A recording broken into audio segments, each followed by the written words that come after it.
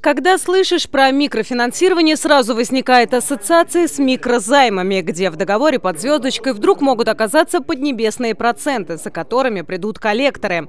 Фонд микрофинансирования Московской области – это иное, субсидируется правительством региона, но тоже предоставляет хорошие условия для того, чтобы начать свой бизнес. Есть несколько видов займов, о которых мало кто знает.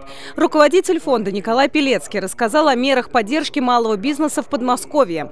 Как развиваться самозанятому, как стать социальным предпринимателем, какая дополнительная поддержка есть для женского и молодежного бизнеса, какие меры поддержки для бизнеса на удаленных территориях и какие преференции появились в регионе по программам импортозамещения в этом году.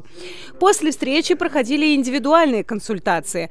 Узнать дополнительную информацию можно в офисе «Мой бизнес», который открыт в креативном кластере «Стачка» в городе Орехово-Зуево на улице Ленина, 99.